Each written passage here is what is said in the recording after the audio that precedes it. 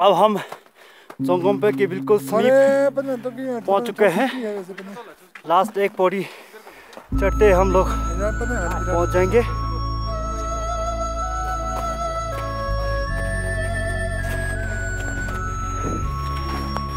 देखते हैं कि जोंगुम्पा के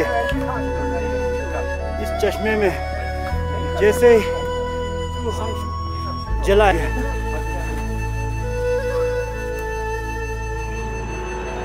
ये पूर्वजों का एक मात्र से बच्चे का जिला भी माना जाता है। यहीं पे जो पानी निकलता है, बहुत ही स्वच्छ और ऐसा मानना है कि इस पानी को, ये पानी जो है, पचास साल तक कभी पुराना